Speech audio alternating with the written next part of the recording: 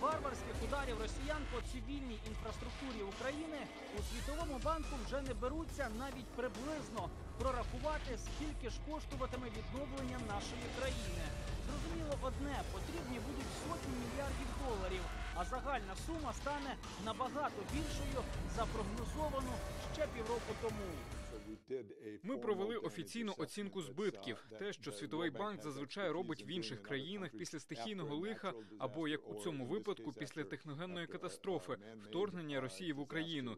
Тож ті 350 мільярдів доларів, про що казали раніше, тепер я не знаю, які можуть бути цифри, але вони точно будуть приголомшливими. Бо росіяни навмисно б'ють по інфраструктурі України, по електромережі, яка є надзвичайно важливою. Електростанції це власне частина критичної інфраструктури країни. Відновити її дуже дорого. Наслідки російських атак на власні очі побачили минулого місяця. Тоді делегація Світового банку, окрім Києва, відвідала Бучу та Ірпінь, які найбільше постраждали в перші місяці війни. Електропостачання більшої частини України зруйновано за останні кілька тижнів. Тож світовий банк співпрацюватиме з урядом України з усіма місцевими органами влади, щоб відновити та відремонтувати інфраструктуру.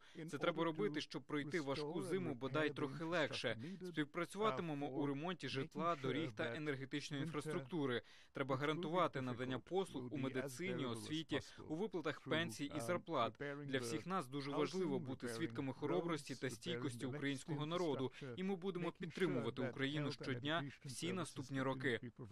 Ще кілька місяців тому у Світовому банку заявляли, що відновлення України почнеться на другий день після завершення війни.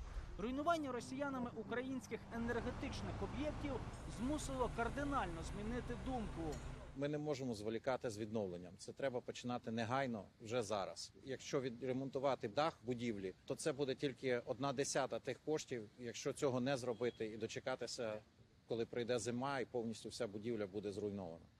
Тому працюємо зараз з світовим банком для того, щоб підготувати програму і почати невідкладне відновлення ще до закінчення війни.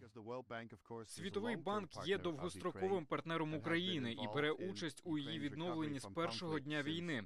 Зрозуміло, що Україна і надалі потребуватиме нашої підтримки, і зрозуміло, що світовий банк у партнерстві з іншими донорами допомагатиме Україні відновлюватися, навіть якщо війна ще триває.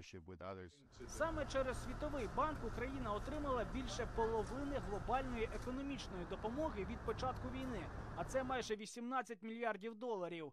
І Захід не втомиться допомагати Україні. Натомість на Росію чекає ізоляція та руїна.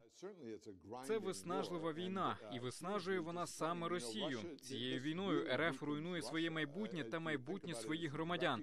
Росіяни вже вигнанці на всіх міжнародних самітах. Це вже для них катастрофа.